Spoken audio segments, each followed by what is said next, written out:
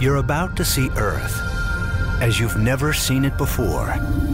Superman had X-ray eyes. So we see the planet as it couldn't be seen any other way.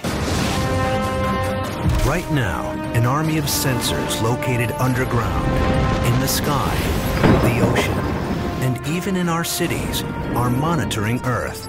These cameras are out there in these most abject conditions, and they just sit there. And their little eyes are working for you. And they're seeing the hidden realms of the planet. What we're doing is a little bit like a CAT scan for the planet. Scanning the planet, we're seeing an Earth that seems to be alive. It's very easy to think of this as just a great big organism that's pulsing away just like I am. This is Earth as you've never experienced it. An X-ray vision that reveals the secrets of the planet.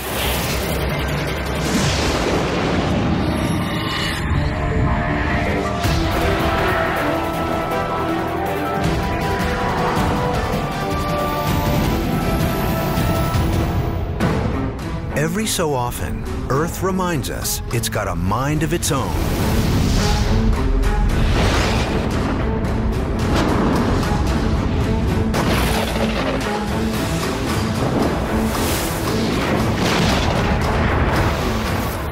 Thousands of years, we thought these events were bolts from the blue.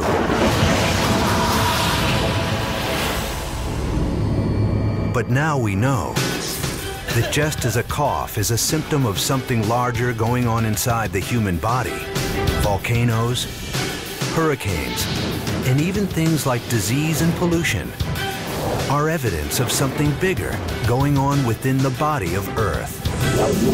So how do we know this? Remote cameras stationed near glaciers are monitoring the slow motion effects of a warming planet. We've parked sensors on the sea floor to discover the secrets of the deep. We're imaging in the atmosphere and charting the lifelike rhythms of cities. And we're even using technology to decipher nature's code, which has revealed stunning insights into the planet and even us. Today, there's little about Earth that we aren't tracking.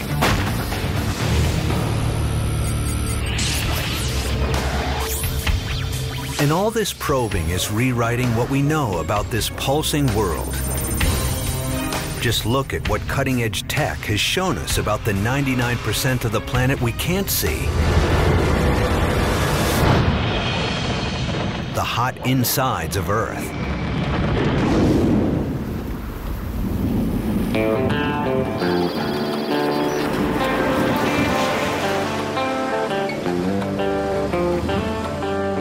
Here in the plains of South Dakota, researchers with EarthScope are deploying a sensor network that's literally bringing Earth's inside into view.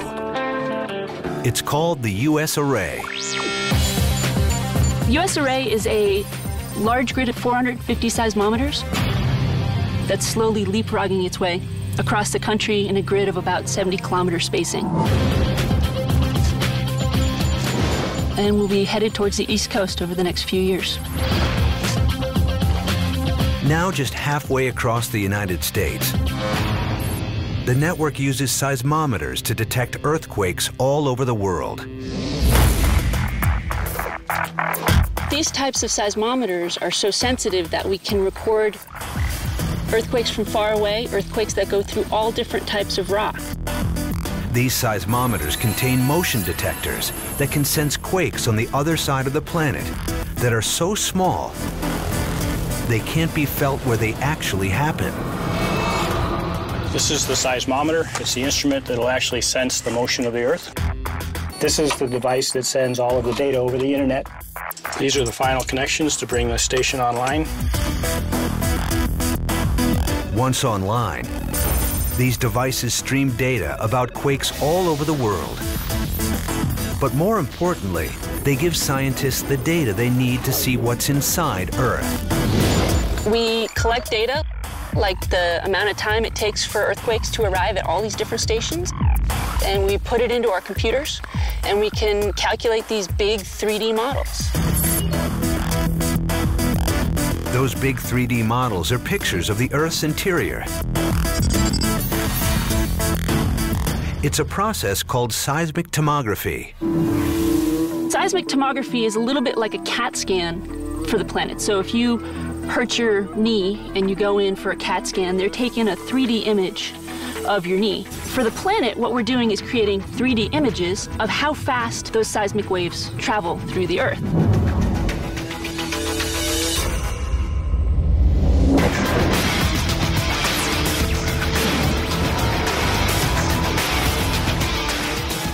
A quake on the other side of the world sends waves coursing through the planet. With a network, researchers can not only see where the quakes occurred, but also the massive formations underground those waves traveled through. And that lets them create a picture of what lies beneath our feet. But to see what's going on, researchers need data. Lots of data. And that's why the U.S. array is so important.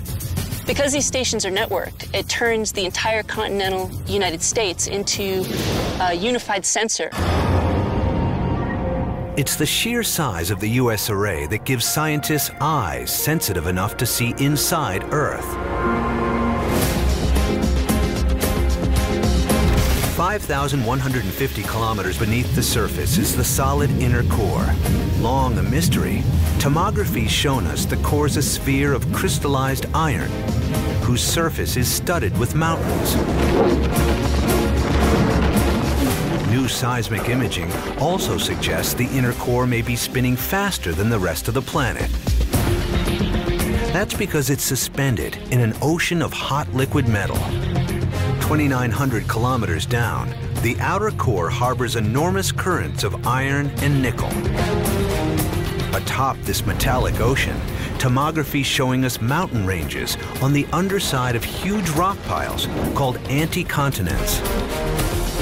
Scientists believe these piles of stone exist in the most unlikely place at the bottom of an enormous zone of hot plasticized rock called the mantle.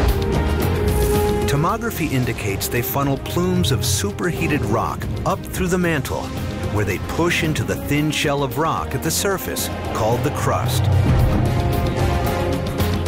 The crust is broken into pieces called plates. Moved by the churning mantle rock, those plates rub and bump into one another to produce thousands of quakes every single day. We always thought about the planet as being these onion shells of layers that don't play with each other. But what we're learning is that you can't take one without knowing about the other. And to better understand that, we need to know what's going on down there. But how do you explore a place you can't actually visit?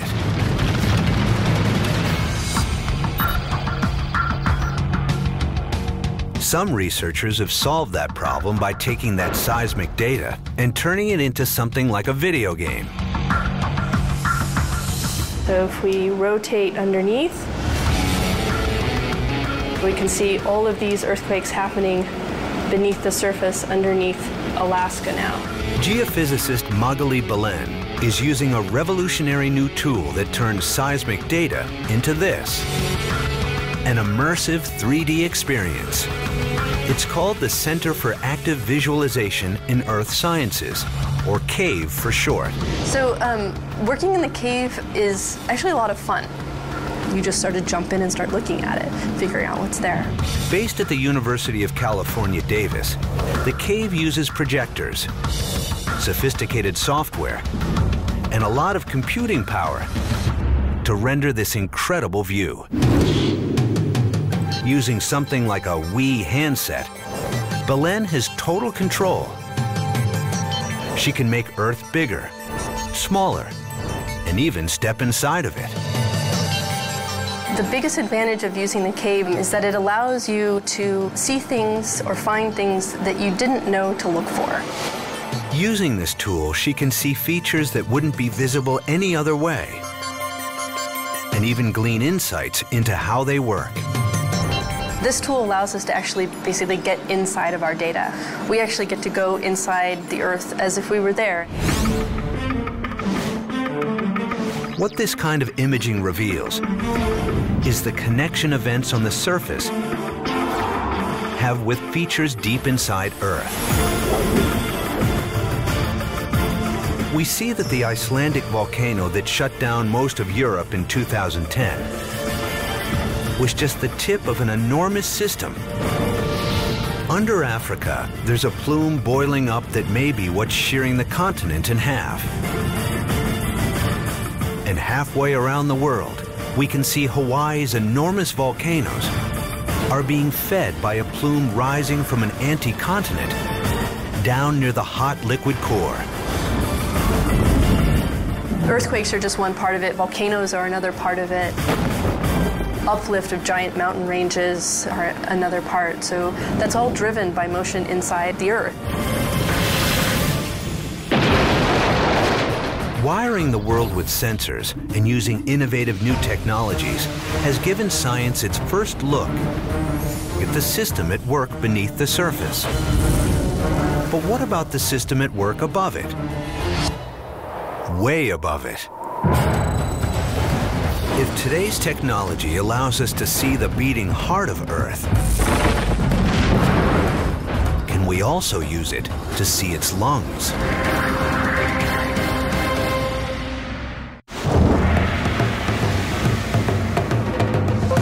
Pakistan, August 2010. Epic floods leave millions homeless.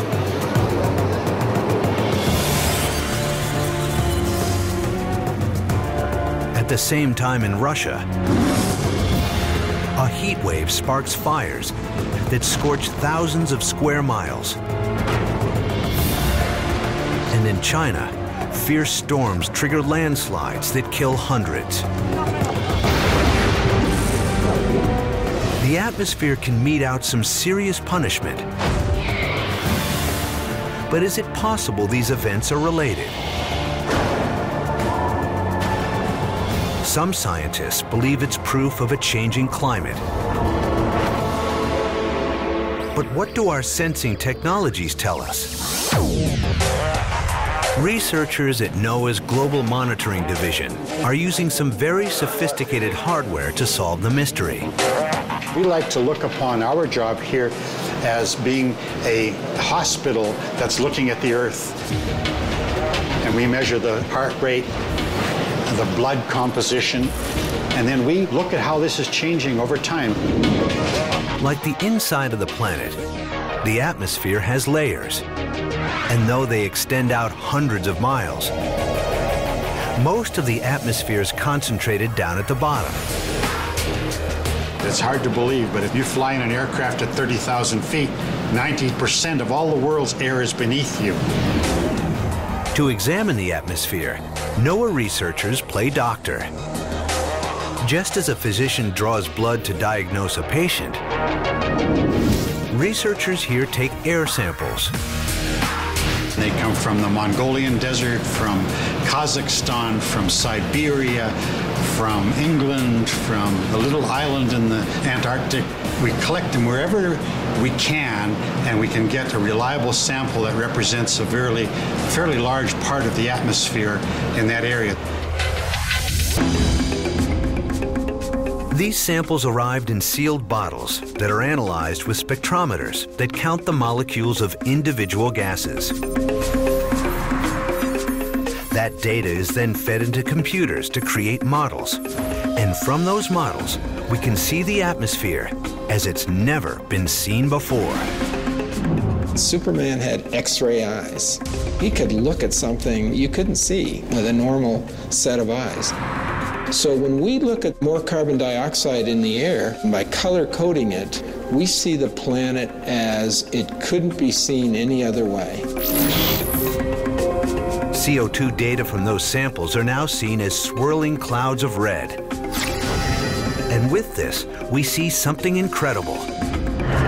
Earth breathing. And the red is showing us that during winter, there's actually an excess of carbon dioxide, and that's because all the plants, the leaves have fallen and they're decaying and they're releasing carbon dioxide into the air. And as time goes on, and now we're in summer, and when we look at the blue, we're really seeing that the leaves have pulled so much carbon dioxide out of the air in the northern hemisphere that turned it blue. But what this global sampling is showing us is that every year, Earth's breath is growing more and more shallow. So what you see here is plumes of high CO2 that come up from the land because of respiration. And this is that same picture now, but for 30 years, where we see that CO2 increases all over the Earth. Every single year, CO2 increases. Since 1990, the amount of CO2 has grown by about 8%. Doesn't sound like much, but because of it, we can see Earth is getting warmer. Here we're looking at global temperature change. The mid 1940s, the planet is still pretty cool. And what we see as we get into the century that we're in now, we see it beginning to warm a lot. From a cool blue to a red hot planet. That extra heat, which amounts to less than 2 degrees Fahrenheit, is changing how this vast system behaves.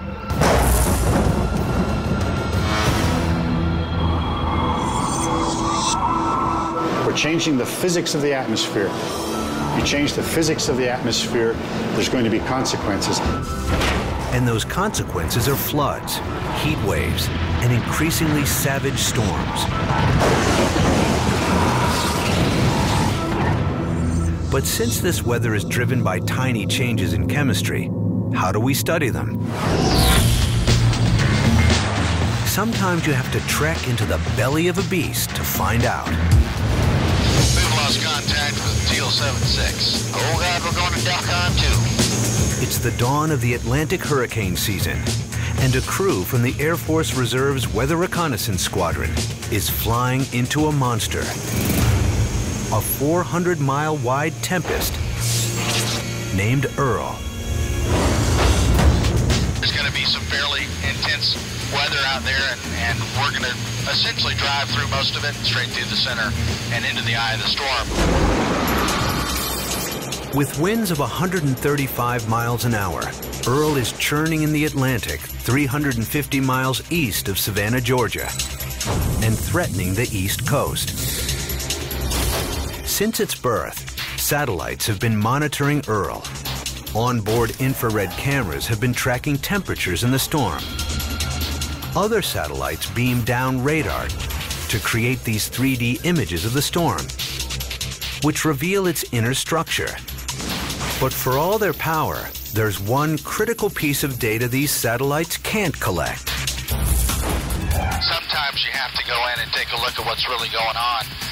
And the one thing that satellite imagery still doesn't do that we do is measure pressure. That's really the lifeblood of a hurricane.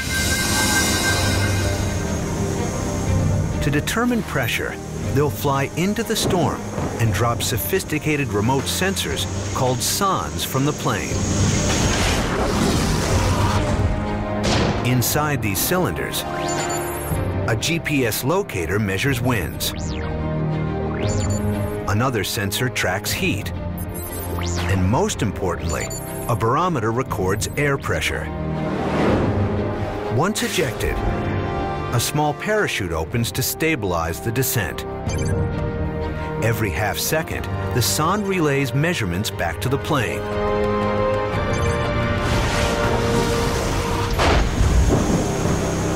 Okay, guys, we're inbound. Let's watch the chatter.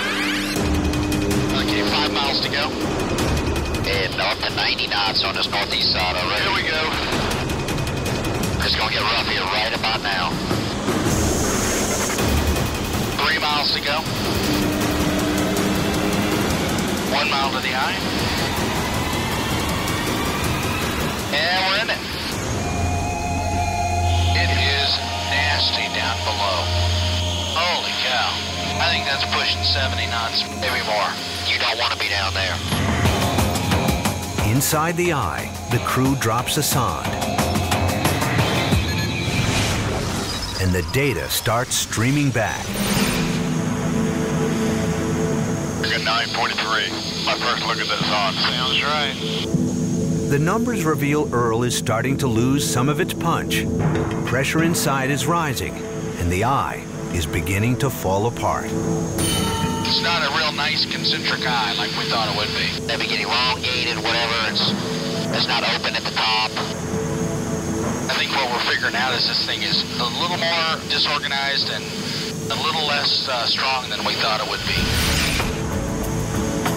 Get a little farther north, maybe the water temperature's a little lower, so it's losing its energy. You can see the surface right there. As it sort of trucks north here, the water gets cooler and cooler. I think that is a recipe for this thing to continue to weaken.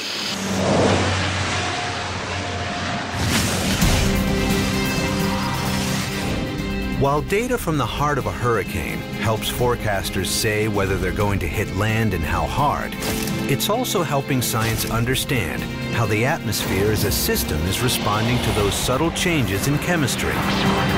Combining that data with information coming from satellites, we can see a disturbing trend in the behavior of these cyclonic storms.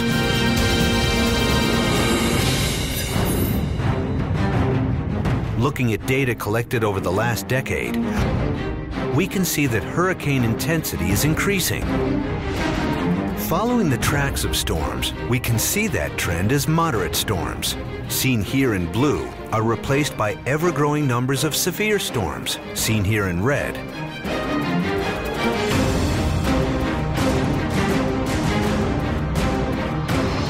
We have more and more sophisticated satellites. We have faster computers and better models, and they allow us to look at the atmosphere. So we're learning a lot of our changing planet.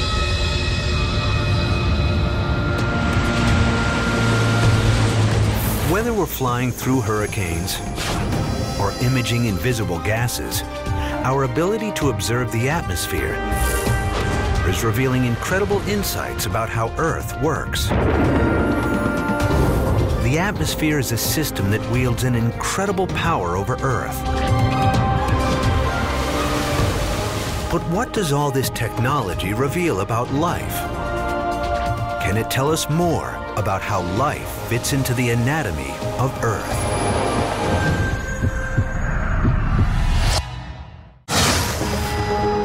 For most of us, what makes Earth special is life.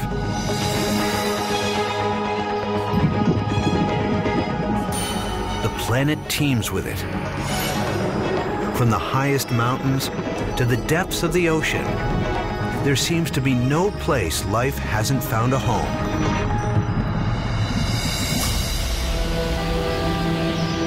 But what is our technology telling us about Earth's most unique feature?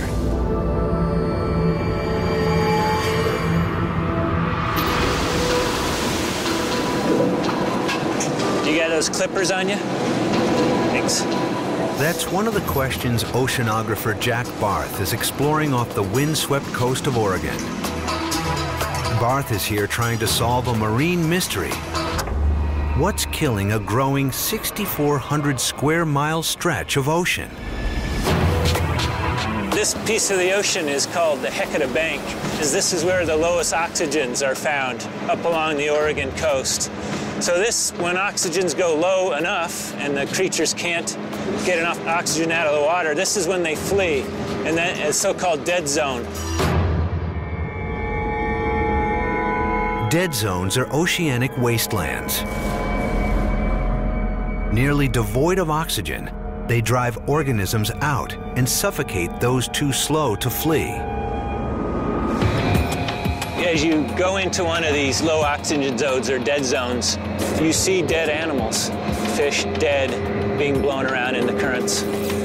You see carcasses of crabs. These are the Dungeness crabs that are piled up on the seafloor. Do one from the frame to this side. Using sophisticated sensing technologies, Barth believes he's ID'd the culprit. It's an organism that's too small to be seen with the naked eye, yet exemplifies the incredibly powerful role life plays on Earth.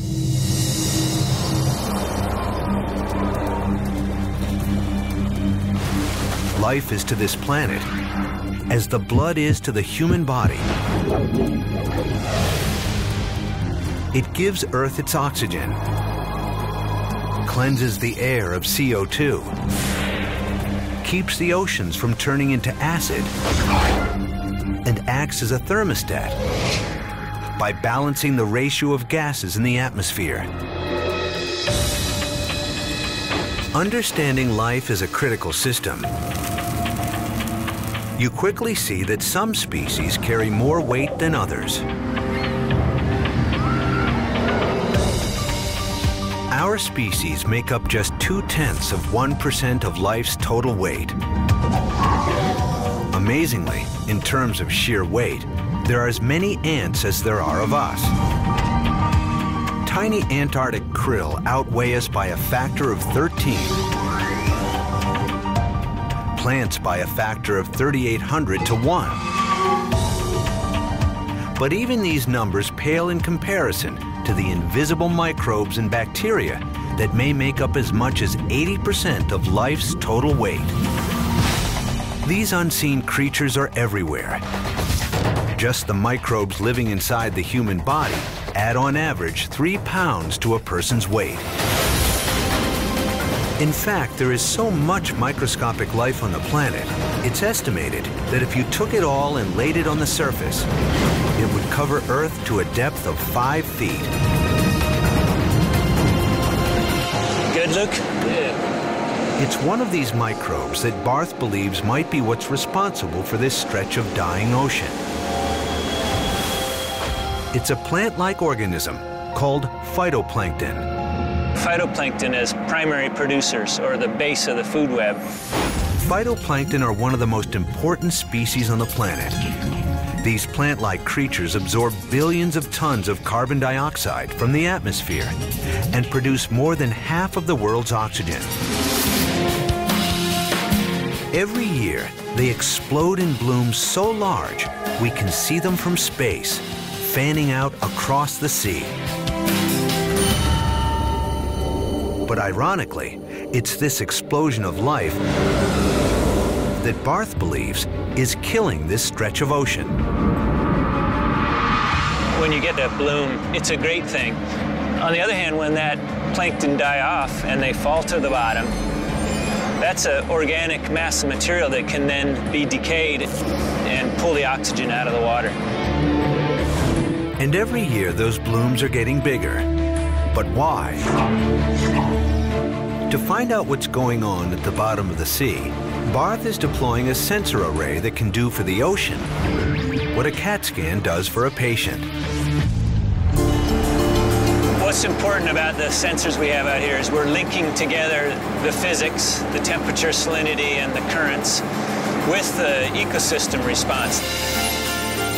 The network is really a collection of many different sensors that stream data on everything from the chemistry of the ocean to what's living there. So this is our main submersible instrument package. One of our main instruments here pulls water from the ocean, measuring the temperature and the salinity. Then that water passes down into this next instrument, and it's measuring the dissolved oxygen. The next thing that's in line here is this black tube on top here, and it's actually using light to detect the chlorophyll content in the water. Barth and his team are deploying one of these sensors to the sea floor to sniff out clues as to why these blooms are getting bigger. Let's go, Kim. All right, we're gonna put them in there. Everybody clear. All right. 1030. Once moored to the sea floor, the sensor begins its continuous scan of the deep that Barth can monitor in real time and even control. We've got this sensor, it sends the data to the surface and sends it back to shore on a cell phone, and I can actually, on my computer, not only get that data, but I can talk back to it and say, something's funny happening now. Let's measure twice as fast. Control like that is critical because dead zones are a growing malignancy in Earth's oceans. Where once they numbered just a few dozen, there are now more than 400 dead zones snaking their way around coastlines across the globe. Colored yellow and red for the most severely affected areas, we see them in Asia, off the coast of Japan and China, in Australia, and along the coastlines of North America. Is a change sweeping through the marine ecosystem here. Sometimes we use that forest fire analogy where it sweeps through an area and then you've got to rebuild that, uh, that marine community. Using this sensor, Barth has discovered that currents of water moving from the deep ocean are growing larger. Called upwelling, these currents drag nutrients up from the sea floor. It's just like fertilizing your garden in the spring. Wham, you get a bloom of plankton. Now, on the other hand, that same material, as it dies off and sinks to the bottom, that's the organic material that can decay and then rob the oxygen from the lower layers. So if it's the blooms that deplete the oxygen and the deep water nutrients that feed the blooms, what's powering the increased upwelling? In our system, the winds are very important to drive that upwelling. And if the winds change, it affects the upwelling in those lower layers. Winds move warm surface waters out to sea, and cold water from the bottom moves in to fill the space. So what's changing the winds? Now, global warming can change the winds. We're seeing that on the planet where wind patterns change, wind intensities change, likely heard about hurricane intensity. So that's the change in the atmosphere. So here on the Oregon coast, we're receiving these lower oxygen deep waters, and the winds seem to be changing. And those two together are shaping how that oxygen zone plays out. Barth's sensors are revealing the complex relationship life, the atmosphere, and oceans share, and illustrates the transformative power life wields over the planet. So we've never really had this information before. So we can now look at the ocean environment just like we do land environments and see how things are changing over time. Life wields an enormous power over Earth.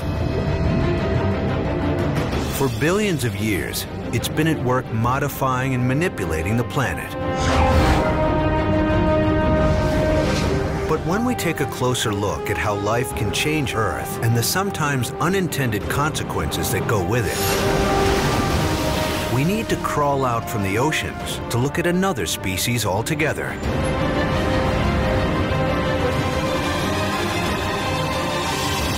We need to turn those sensors on ourselves.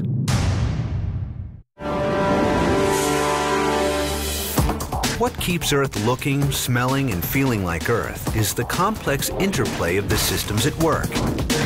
Within each are billions of parts that work together to sustain this living planet. But what happens when one of those parts starts doing something different?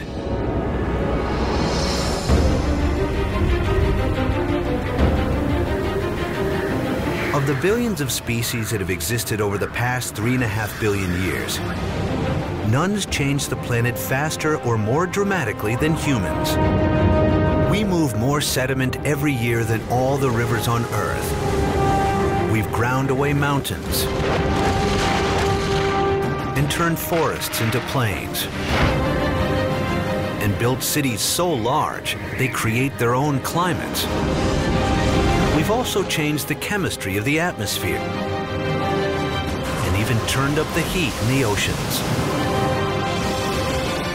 Some believe a new age in Earth's history has dawned.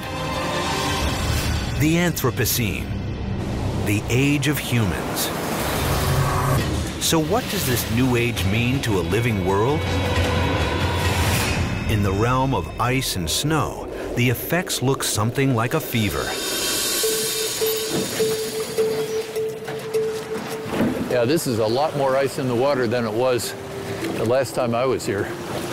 Like the, the chunks are bigger and there's a Yeah, lot definitely. more volume. At the foot of Alaska's Mendenhall Glacier, photographer James Balog has turned his cameras into sensors to capture some of the most stunning visual data of an Earth in flux. These cameras are like my little pet robots. Uh, we set them up on these cliffs, and they're out there in these most abject conditions, and they just sit there, and their little eyes are working for you. The work these little eyes do is take pictures, one an hour, for years at a time. It's called the Extreme Ice Survey. Well, this is as pretty as it gets. EIS is a combination of art and science. I felt that there was an historical moment, there was a record that should be created, a voice for the landscape that could be projected out through these pictures, and I decided to do this project. Balog's installed cameras at 22 sites around the world. Powered by solar panels, the cameras are shielded from the glacial extremes by a thick plastic housing. Some of the, the cameras are exposed to minus 30, minus 40 degree Fahrenheit. We have winds that are uh, constantly in excess of 100 miles an hour in certain locations. You know, this is, this is pretty rough going for this equipment. But what they've managed to capture is some of the most dramatic imagery of what happens when Earth runs a fever.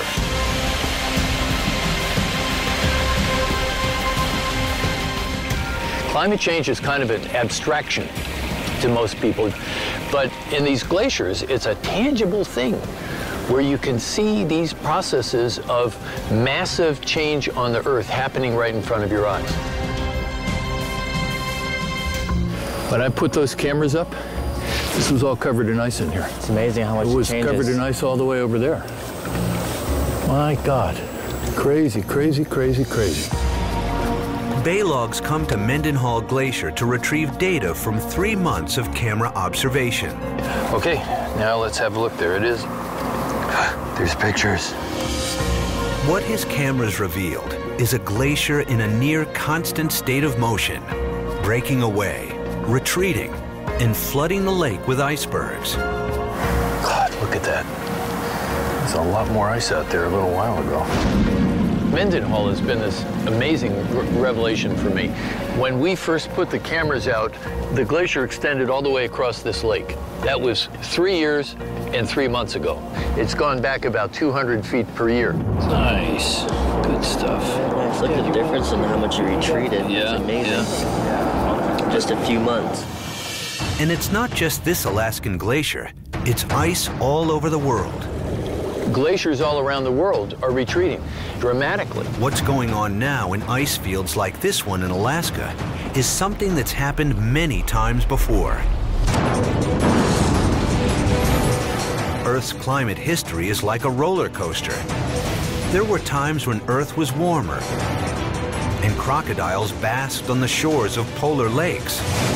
At other times, Earth was cooler and ice sheets a mile thick covered vast areas of the planet. But in the past, this ebb and flow was tied to things like changes in Earth's alignment and massive volcanic eruptions. Today, those changes are being forced by humans.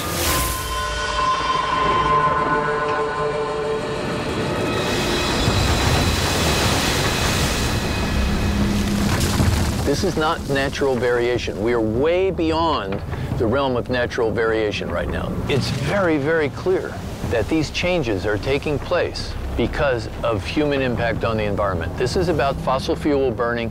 It's about us treating the atmosphere, the air around us, as a free garbage dump. Well, there we go. Got it. Cool.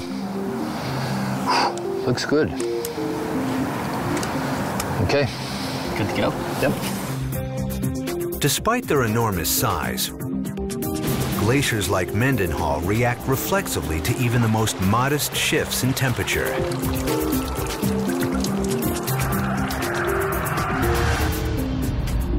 You know, a lot of these different glaciers in different parts of the world are like different animals, different animal species. They respond differently to different characteristics in the habitat around them.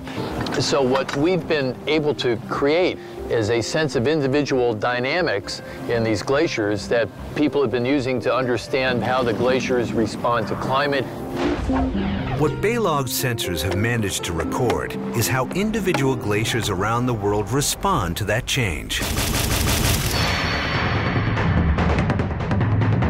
We have this one glacier called Rink Glacier. The temperature never goes above minus 25 for months at a time, and yet this thing is alive. And these giant ice islands break off and they spin around in the fjord out in front of it and then somehow plow their way out through a frozen sea and out they go. We have a glacier in Greenland, the Ilulissat Glacier, that's moving 125 feet a day. That's a fantastic speed. And it's flushing 15 billion tons of ice into the ocean every year. I mean, it's like mind-boggling.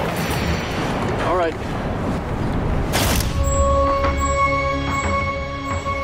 For science, these images are priceless because it's information that can be cross-referenced with other data to better understand changes going on all over the world. The scientists are taking these pictures and connecting the imagery to the climate, the warming, the daily variation in temperatures, all of that is tied to glacier behavior. A lot of things come together in these pictures, and different researchers are using them in different ways to tease out different parts of the story. Combining data like Balog's with those scientists are collecting from the atmosphere and the bottom of the ocean provides us with an X-ray of this organism we call Earth.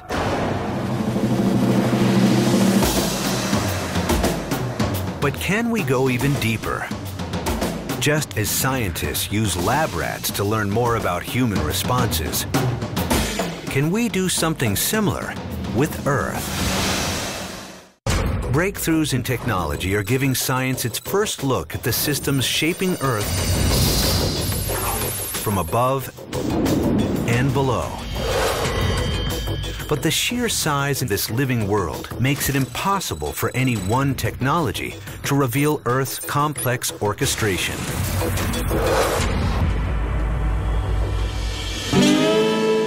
But that's not keeping science from trying. One group sidestepping the problem by taking the planet, shrinking it down, and putting it under glass. It's called Biosphere 2. The Biosphere 2 apparatus is a grand experiment in trying to understand how the Earth works, how different components of the Earth system all interact, and how they change and feedback on each other through time. Housed within a skin of glass, Biosphere is divvied up into four different natural environments, or biomes. There's a desert, a savanna, an ocean, and a rainforest, built in an area big enough to park a fleet of jetliners. Under this geodesic sky, researchers can turn the dials inside this mini Earth to do things like crank up the temperature and change the chemistry of the air. The entire facility is an apparatus that allows us to ask questions in a very sophisticated way. The building itself is a tool for doing science.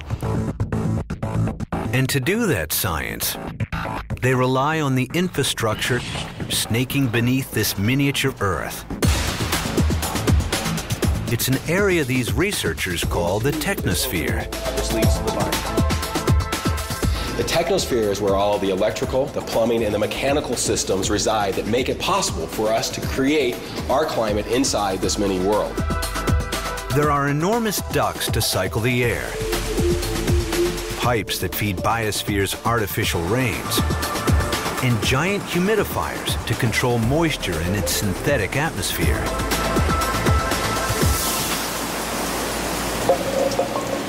You gotta get these all snug so if you do fall, they're not gonna slide. It'll catch you really smoothly. It's this marriage of nature and technology that gives researchers the power to do things like take the rain out of a rainforest. An experiment that we could do here that is very difficult to do in the natural world is we can subject this entire forest to drought.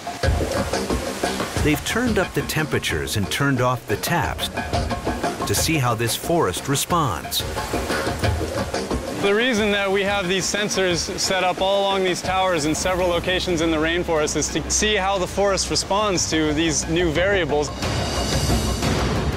The sensing technology at work within this environment measures everything from photosynthesis to light penetration to changes in biosphere's atmospheric chemistry.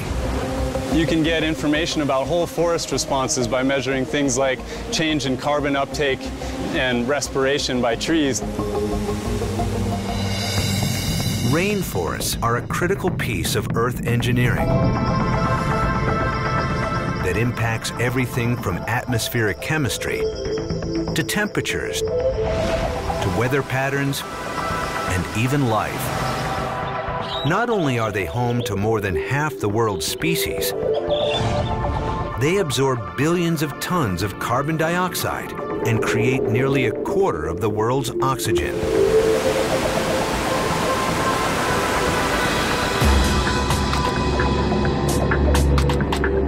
Yet these primeval forests are disappearing. 10,000 years ago, forests covered nearly 20 million square miles of the planet. But as we see, those forests are shrinking. In Siberia, Asia, Indonesia, Africa, and the Americas, forests are withering away. 80% of them are gone, and what forests remain look like islands in a sea of bare earth. From space, we can see the process, the steady retreat, as those forests are cut to make way for roads, ranches, and farms. Now those remaining forests are being threatened by climate, but no one knows exactly how they're responding. Which is what these researchers are trying to find out. Yeah, so just like the real rainforest, you kind of got to battle your way through branches to get where you want to get to. It can be a little tricky. What they're learning is that in the absence of rain, virtually everything about the forest starts to change. Originally, there were about 370 species. Now we're down to about 92. So that begs the obvious question, what characteristics allows these plants that are still here to continue existing? An actual rainforest, answering that question would be too difficult. But here, the ability to control the environment is what makes Biosphere such an incredible tool. It gives scientists a way to test and then take those results and compare them to what's going on in the real world.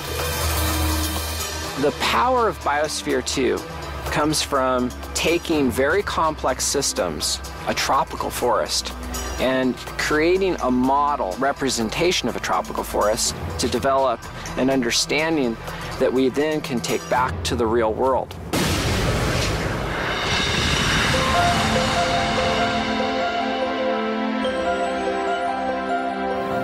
Ever since those three astronauts aboard Apollo 8 brought Earth into focus,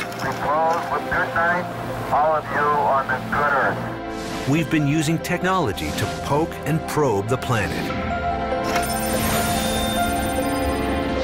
From the fiery depths of our world to the heart of its most savage storms to its fields of moving ice, technology is revealing the planet as it truly is a living, breathing, pulsing world. But can those technologies take us even deeper? Can we use them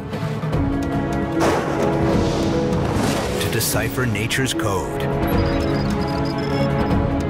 And for the first time ever, read the blueprints for the planet and everything on it.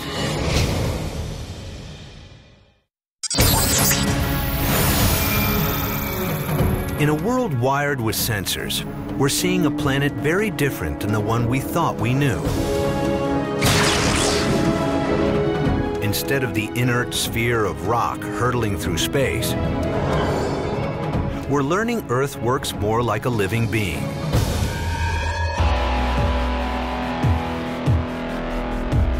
But can those same sensors be used to learn something even more profound about the planet?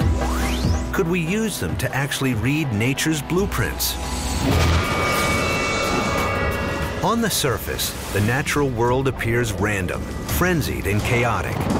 But look closer, and you'll see there are patterns. From the petals on a flower to the meandering track of a river. There's a geometry in the world around us. That geometry is called fractal.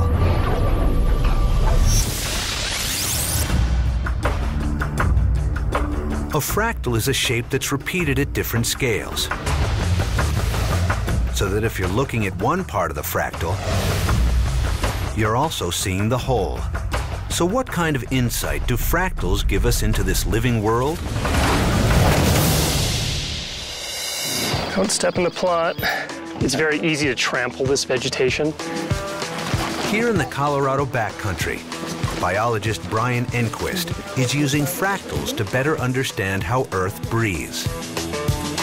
We're using fractal geometry to help us understand and hopefully predict the total amount of carbon dioxide that comes in and out of the ecosystem, effectively how the Earth breathes. Enquist believes that by studying the geometry of individual plants, he can accurately gauge how much carbon dioxide is consumed by this environment. If you were to invent CO2 goggles and put them on, what you would see is photosynthesis and respiration in plumes and waves all across this valley. CO2 coming in, CO2 coming out. What Enquist is looking for is a pattern, a scaled relationship shared by a single plant or leaf and the environment it inhabits. Within nature, we can identify patterns. Those patterns then can be described mathematically. And that's actually very powerful because then if we have a pattern, we can then use that to more accurately predict and understand nature. Nature may appear random, but there's an invisible order that can be seen with math. Take an x-ray of the human arm. It reveals a numeric design that's expressed throughout nature. One bone at the top connects to two bones in the forearm. Those connect to eight bones in the wrist, which feed to five bones in the hand, and three bones in each of the fingers.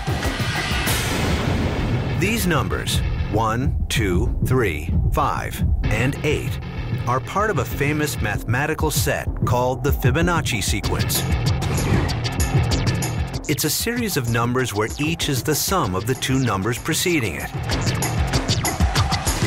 Take these numbers and plot them on a graph, and what emerges is a spiral, whose arcing curve matches the pattern of a pine cone. That's also the same curve we see in a nautilus shell. And that's important. A pattern is effectively the basis of how to do science. Scientists look for patterns in nature. And as biologists, we look for patterns in biology. Once we identify a pattern, that implies then potentially we can predict something about the world. But it doesn't stop there. Take any number in the Fibonacci sequence and divide it by the one preceding it, and you get a number approaching 1.618. It's a ratio commonly called the golden mean. Now look at that x-ray of the human arm. The difference in length between the forearm and the hand is equal to the golden mean. And it's the same for the three bones in the finger. It's even in our DNA. The length of one full revolution divided by the molecule's width falls close to this magic ratio. The Fibonacci sequence and the ratio it creates are examples of fractals. Just like the patterns of veins within a leaf, mirrors the branching pattern of the tree. A fractal is the same shape, just repeated at different scales. A fractal implies self-similarity. And a self-similar pattern then is a pattern that is repeatable and observable at multiple different scales of observation. Nature relies on this geometry because fractals allow it to create vast structures in an amazingly efficient way. It's how it packs 60,000 miles worth of veins and arteries into a human being. And it's how nature bundles six foot long DNA strands into a tiny cell nucleus. In fact, if you took all the DNA inside a human and lined it up end to end,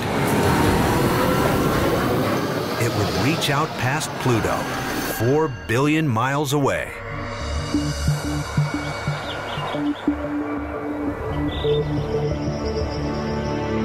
But fractals are at work in more than just organisms. They even permeate the environments those organisms inhabit. Look at an average tree in a forest. The number and size of its branches closely reflects the number and size of trees in that forest. If you look at an individual tree, and if you step back and if you look at, at an individual forest, what you'll actually find is a similar mathematical pattern. It's that pattern that Enquist is trying to discover.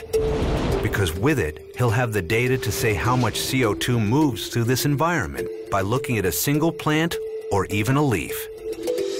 And so what's really cool is that if you actually look within that branching pattern that you see within a leaf, we can see within the branching pattern of an entire tree, and actually if you look at how plants pack into the natural world, it's actually quite similar.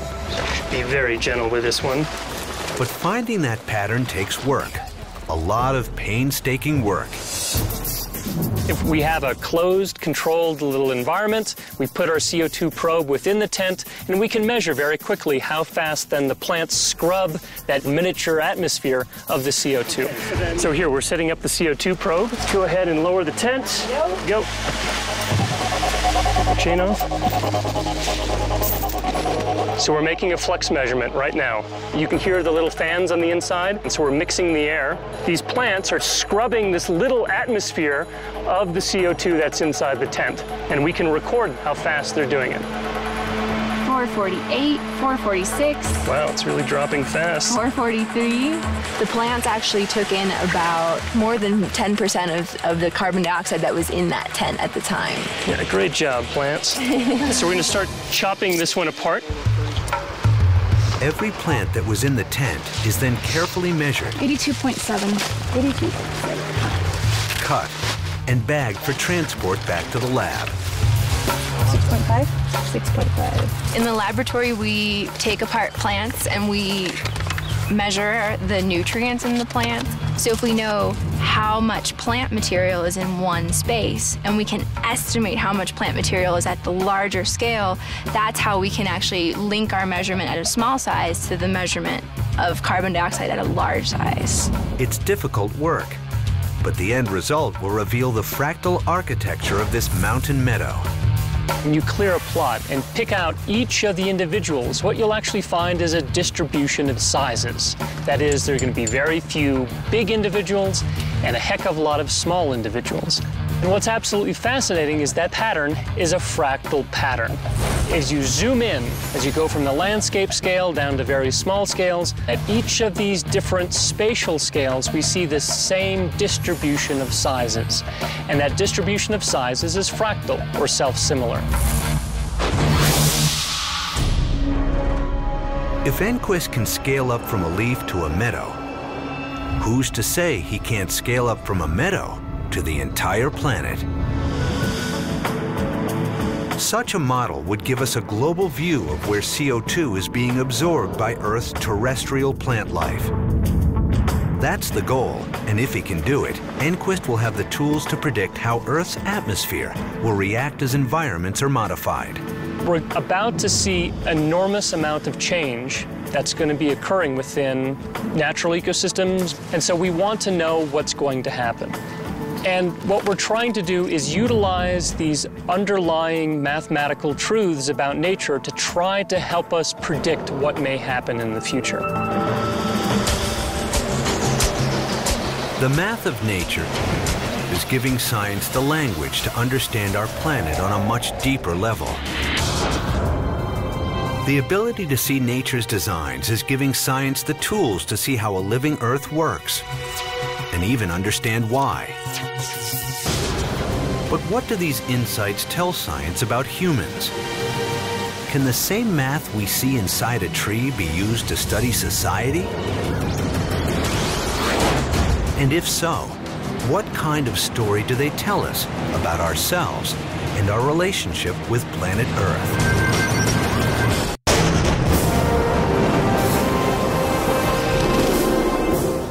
All around the planet, change is afoot. But what's behind it? Data coming from satellite and ground-based sensors provides an explanation. Here we can see how much of the Earth's surface has been changed by human development, ranging from moderate impact in light green to dense urbanization in red. There are few places on the planet that haven't been altered in some way by the human species.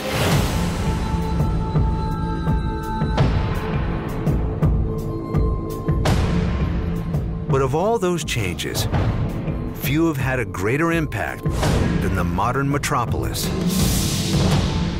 So what do these environments of concrete and steel mean to a living planet?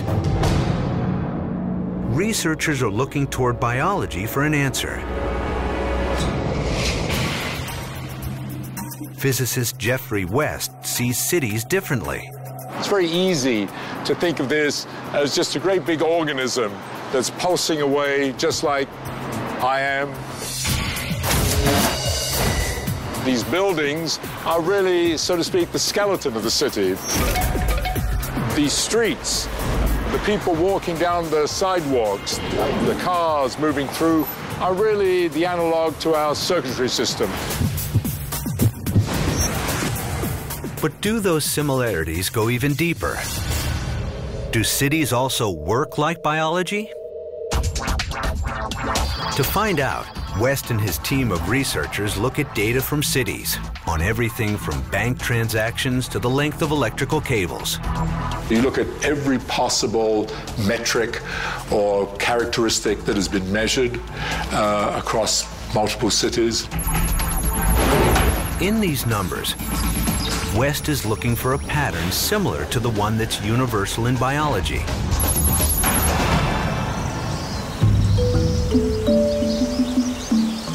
Plot an animal's energy needs in relation to its weight, and an amazing pattern emerges. A mouse needs a lot of energy in relation to its size, has a fast heartbeat, but lives a brief life.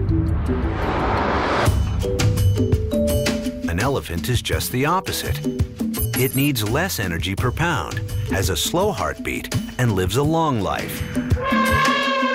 Even more incredible is that all mammals scale at the same rate. Each mammal that has ever existed on this planet, no matter how small or how big or what color they are, we are each some scaled version of one single mammal. Is it possible that a similar scaling law could also apply to something non-biological? Like a city? It's quite fascinating what we found. Just as a blue whale is a scaled up version of an elephant, which is a scaled up version of a human being, it turns out that New York is indeed a scaled up version of San Francisco, which is a scaled up Boise, which is a scaled up Santa Fe. But there's an important exception. In nature, as an animal gets bigger, their energy needs per pound and pace of life slows down. The opposite is true of cities. The bigger they get, the more energy they need and the faster everything moves. If you look at spread of disease, rate of transactions, all of these increase as the city gets bigger, even the pace of walking. The rate at which you walk amazingly increases systematically with city size. But what makes West's research so incredible is that all cities scale at the same rate. If you double a city size, what you discover is an extraordinarily simple rule that your wages will go up by about 15%, the number of police goes up by around 15%, the amount of crime goes up by 15%. There is this 15% rule that stretches across the whole spectrum of human activity. Is this scaling pattern proof that seemingly separate issues like crime and disease are in some way linked? Is there some kind of natural order at work inside these concrete environments? They seem to be extraordinarily interrelated and interconnected. All of these scale together with the same exponent. This cannot be an accident. And if it's not an accident and there is a natural order, even in cities, can problems like global climate change and crime be somehow related? just focusing on global warming or understanding risk in the markets or understanding problems of health and disease in Africa is dangerous. You need to have a much broader, integrated, holistic view. We need to understand how cities function to start to address these questions. The more we reveal about the hidden patterns and rhythms of a city, the better we can diagnose problems with the planet. But for most city dwellers, that's an abstraction. What they want to know is what living within one of these urban organisms means to their lives. And in Oakland, California, residents are using technology to find out. Gonna turn on my GPS system, turn my DustTrak 2 on, and then I'm gonna take off on my walk. A group of volunteer citizen scientists is using mobile sensing technology to get an incredibly detailed picture of the urban atmosphere. I think we all experience the environment as individuals, not as masses of people. So what we want to know is really what you're breathing and what I'm breathing. And that data is being collected by the residents themselves. There's a lot of health problems in my community, and I'd like to find out what's in the air and what my kids are breathing. All three of my children have asthma. These backpacks house sophisticated air sensors. Every second, it breathes in a puff of air and analyzes it for pollutants. At the same time, a GPS tracker marks the exact location where the sample was taken. Different upper respiratory disease and the cancers that we have in our neighborhood. We get a lot of community meet people that come out and volunteer. This is what helps them to get the data that they need.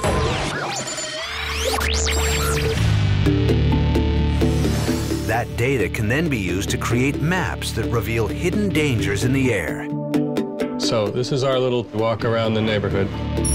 And you can see that even in one circuit, it's not all the same. Green is good, yellow moderate, Orange becomes unhealthy for sensitive groups. Red gets pretty much generally unhealthy.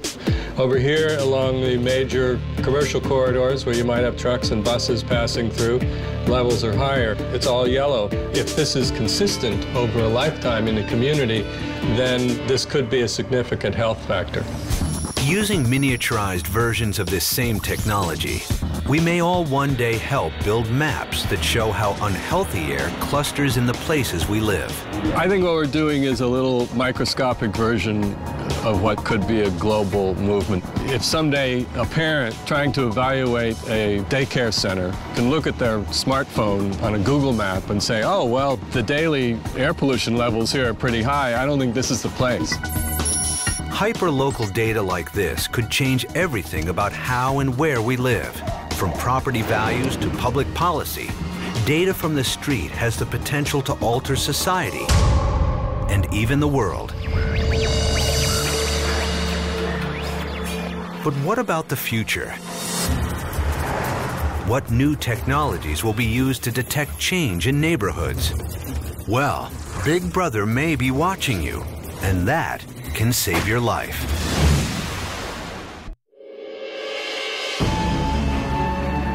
It's strange to believe that these islands of concrete and steel behave like living things.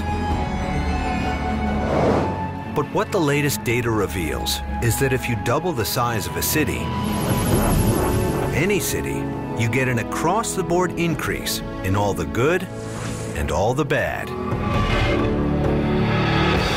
That's their curse.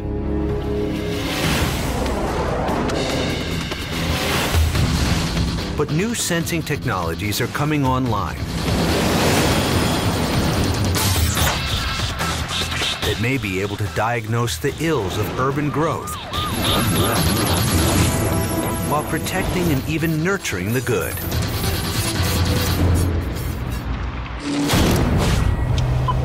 Adam 2 to the dispatch. Richmond, California, a working class town tucked away on the northeast end of San Francisco Bay, has long had a reputation for urban scourges like poverty and crime. But within the city of 100,000, one of the roughest areas was the Easter Hill Housing Project. There was a time where the police officers were told not to enter Easter Hill alone. You had to go in with two cars in order to make sure you had sufficient coverage. But Easter Hills changed. It's now called Richmond Village, and it's got an incredible bit of engineering that's keeping the peace. It's a device that tells police when and where a gun is fired. Here, designers run a test.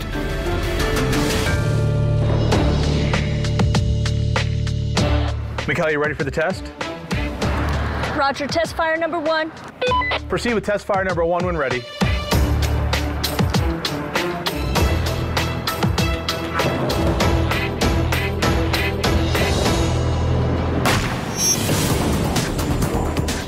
The device uses sensitive microphones that pick up the sound of gunfire.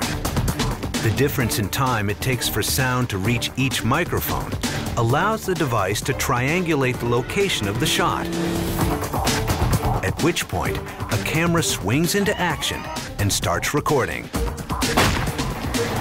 Okay, did you get a gunshot? The location looks good. Mikhail, that last shot was 229 degrees and two degrees of elevation. Everything looks really good on this end. Nice work. Roger that. In Richmond Village, 16 of the crime prevention systems stand watch over the neighborhood.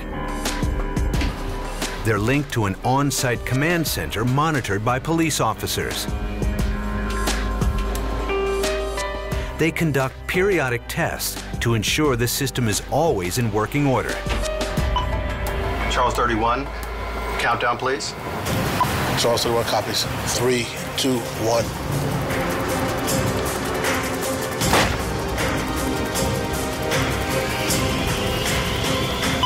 Test confirmed.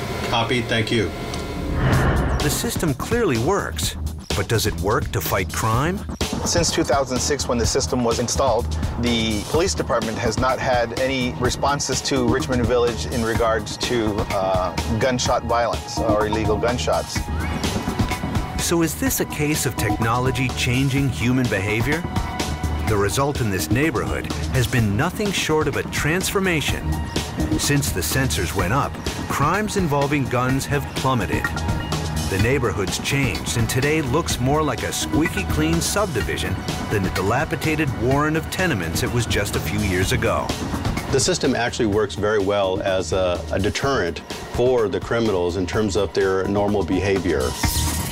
They know that if you shoot, we will zoom in and we will get a face. Using technology to inoculate cities against the ill effects of growth is just one application of our advanced sensing capabilities. But what if we could wire cities to monitor everything? From pedestrian and car traffic to the health of buildings, roads, and bridges.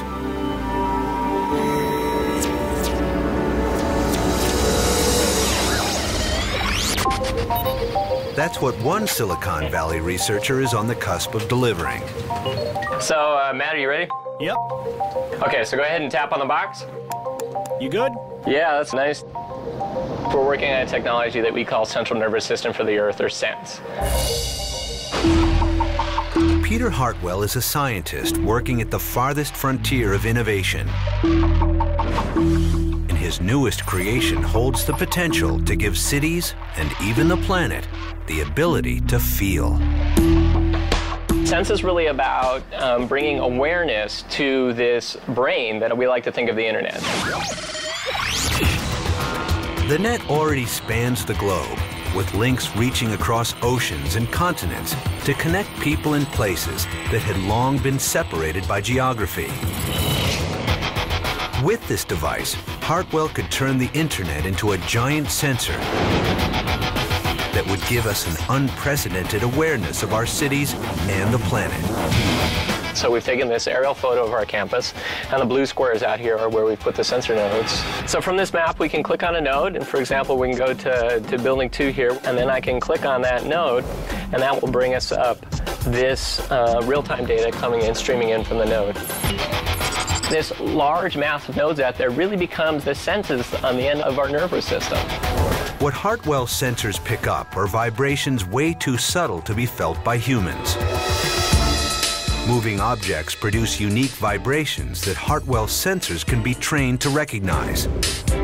Those in turn can be used to see when the building's being used, and even if it's damaged. What we can look at is the plot of the, the vibration of the building. And what we'll be looking for is any shift in these peaks, which may indicate that the structure or the health of the building is changing. Whether you're talking about structural health monitoring, earthquake warning systems, security applications, water safety, innumerable things. We kind of came up, there was almost the possibility of almost a trillion nodes that you could deploy as part of a worldwide central nervous system. So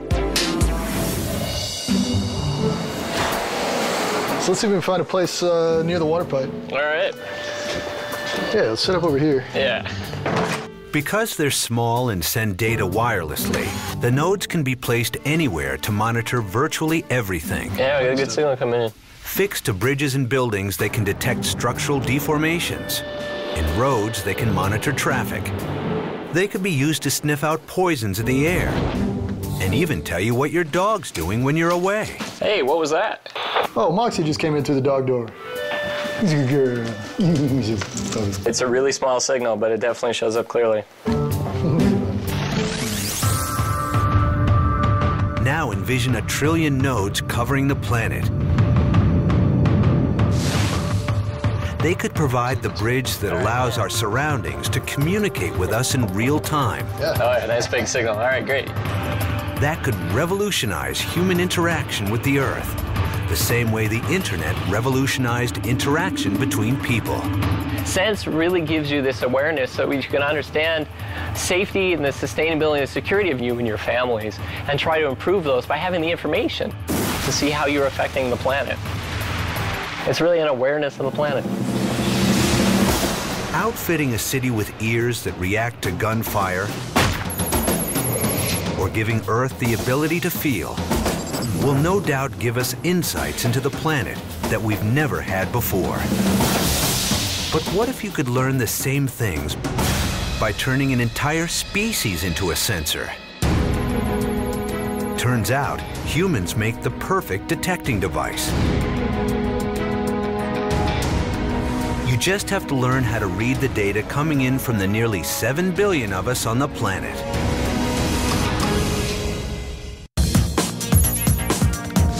When it comes to taking Earth online, researchers talk sensors. What's important about the sensors we have out here? Nodes. And the blue squares out here are where we put the sensor nodes. And networks. Because these stations are networked, it turns the entire continental United States into a unified sensor. In this age of Earth exploration, it's all about getting technology out into the world to build bigger networks of satellites, seismometers, or submarine sensors. But could we take this even further and tap into an enormous network that's already in existence? Could we turn ourselves into sensors? We've now got the ability to get very detailed information about people, but it's not from the kinds of satellites that we fly It's from people themselves.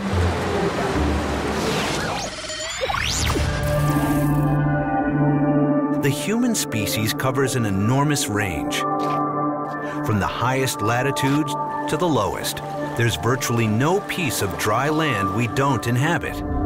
So what kind of information can we learn about Earth by looking at ourselves? Let's start by looking at where we live. Countries rise and fall based on the number of people living in them. But a different world emerges when we see where people are born. Looking at per capita data, we see even more. Here are death rates. And this is where people starve. So what do these maps tell us? We use demographic data to know where the people are, first and foremost. But also, we need to know some of the characteristics of those people. For example, we need to look at the fertility rates. How rapidly is the population changing? So we get into properties of people. Some researchers are using shifts in population, births, deaths, and rates of starvation to track changes on the planet. Shifts in atmospheric chemistry, for example, lead to changes in weather patterns, which can mean prolonged drought, less food, starvation, and death.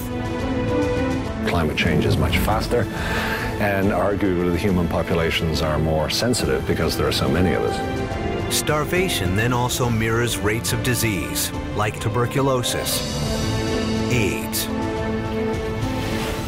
and malaria. Those too can be used to track climatic changes. As the planet's warmed, researchers are now seeing malaria in places that were once cooler and therefore immune to the disease. Looking at a warming planet, we can change the data to see where greenhouse gases originate. We can even take that a step further to see how that tracks with modern day luxuries, like cell phone use internet access, and even fast food. What this changing map reveals is just how far outside the natural bounds some researchers believe our society has evolved. 50,000 years ago or so, our metabolic rate was uh, two or 300 watts, in, even including our activity. And that was appropriate for our size. But now, we were using 11,000 watts. Eons ago, the human population took just 300 watts worth of energy from the planet in the form of food to survive. Now, we take on average 3,800 times more energy to do things like run our cars, power our homes, watch movies, and cruise the net. It illustrates the problem that we have created by being so successful as social animals in creating the extraordinary society that we have now with all the various artifacts and the wonderful things that we all enjoy.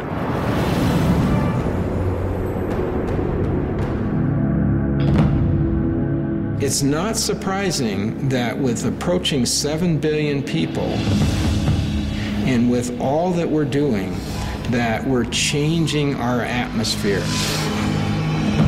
and we're changing it faster than it's changed probably in hundreds of thousands of years.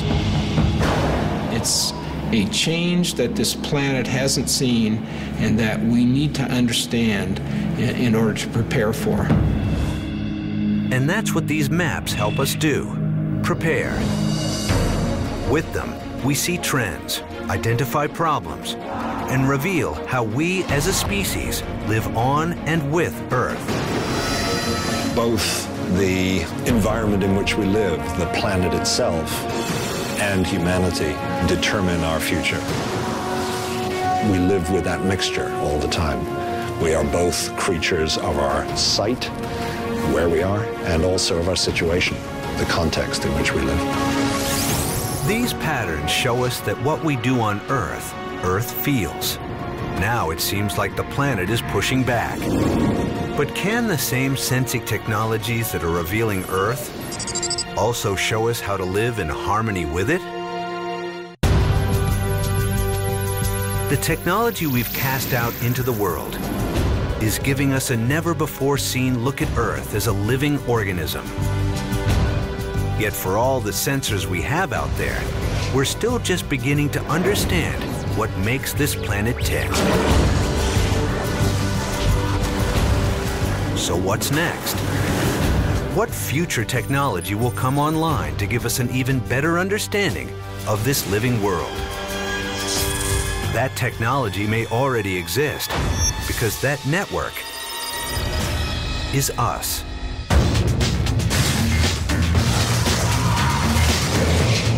There are 117 people for every square mile of dry land on Earth. So how do we turn people into sensors and create the largest data gathering network on the planet? Well, there may soon be an app for that. There are nearly 5 billion cell phones in use around the world. That's 5 billion pocket-sized computers that could be used to turn the human species into a fully wired sensor. Cell phones already track our movements with GPS, monitor our communications, and even track our behavior. But could a phone be turned into something more? Some researchers are trying to get a cell phone to smell. Our idea is to basically incorporate pollution sensors in the mobile phones and other mobile devices. Embedded in a phone, the sensor could tell their owners what they're breathing. So this is the concentration of carbon monoxide in the chamber that this sensor is reading right now. Now envision a global network of cell phones doing the same thing and tracking everything from the weather to carbon dioxide to the spread of disease. You get millions of sensors in the environment, and you can get a much better picture of what the environment looks like. Sensor technology is all about resolution. The more sensors out in the world, the more detailed the picture. What they've already shown us is that we and everything else on Earth form the vast, interconnected system that's in a state of perpetual change and motion. Be it traffic moving into and out of the city, human movements across continents, or the communication networks that connect us all. We can plot the course of hurricanes, chart oceanic wastelands, monitor vanishing forests, and dissect our planet through the thousands of satellites speeding around it. With the moon and the path of planets, a universe of motion spans out from this little world we call Earth.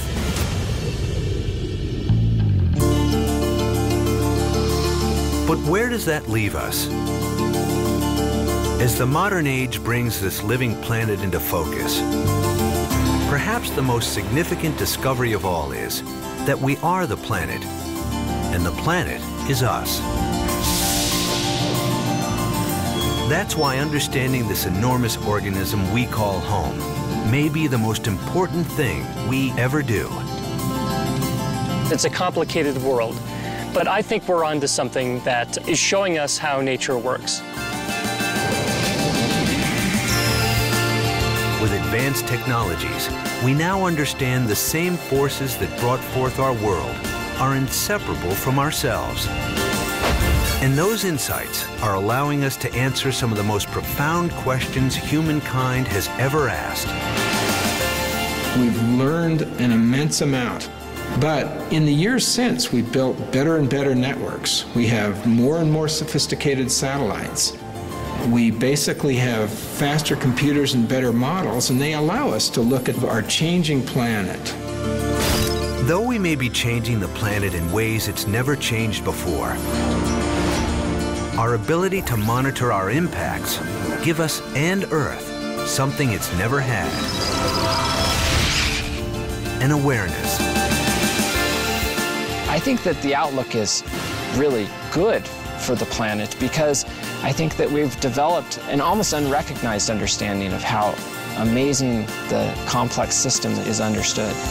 And that awareness may be what ensures that humanity isn't just one of Earth's failed experiments, but one of its most enduring triumphs.